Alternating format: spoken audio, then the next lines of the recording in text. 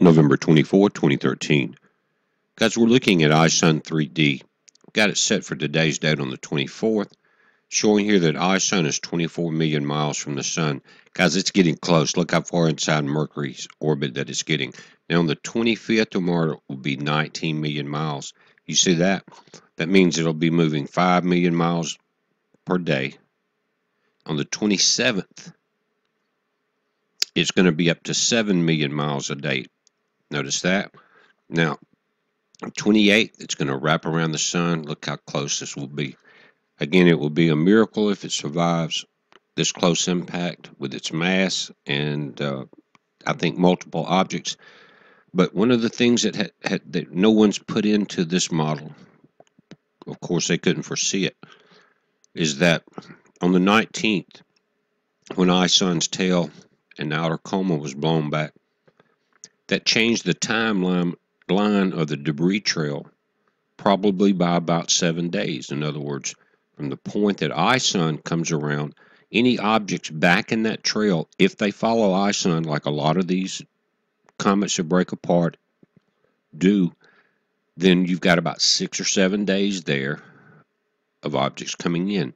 Now, this is one of the questions that I keep getting asked. Notice we're right here at December 25th, 26th, around Christmas.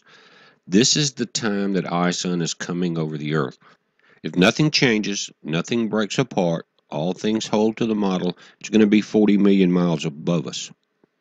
Now, if you click over here on the right at the numbers, go down to number four in the red, you'll click on 28th of November and you'll see that they're giving it a chance of breaking apart.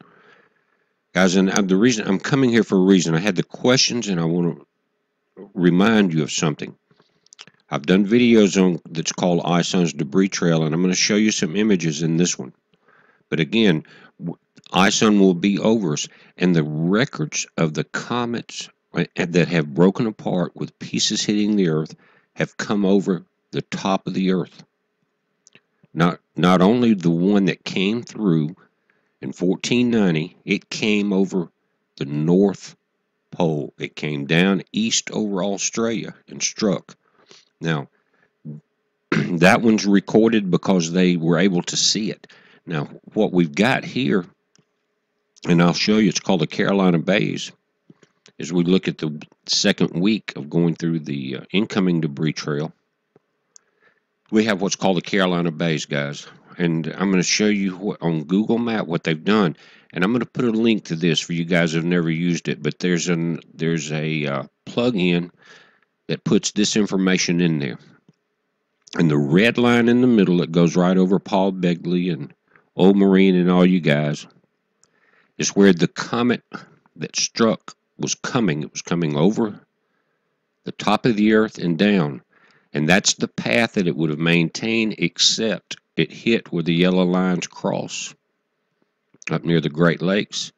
And there's scatter shots. There's craters all over, both from, if you look east to Nebraska, excuse me, west through Nebraska, east, all the way down the east coast. Heavily into Carolinas, if you remember the story of the uh, Native Americans that were there 12,000 years ago, they saw it coming and it, the comet did not strike the earth but a piece of it did because after everything and all hell broke loose they saw the comet going back into outer space. But it broke apart. And it these this is infrared images of the carolina area guys. Look at shannon red springs prospect maxton laurinburg all through here. This is google earth infrared another infrared image of this area and the Native Americans have a story of the tribes that lived there. They saw it coming. They dug themselves into the mud. It burned all the animals and all the trees up. Again, 12,000 years ago when some of this happened. But it came in over the earth. No one knows what's going to happen, guys, but this is history. History repeats itself, and it's a heads up. No one knows, but guys, this is a big comet coming in. Be safe.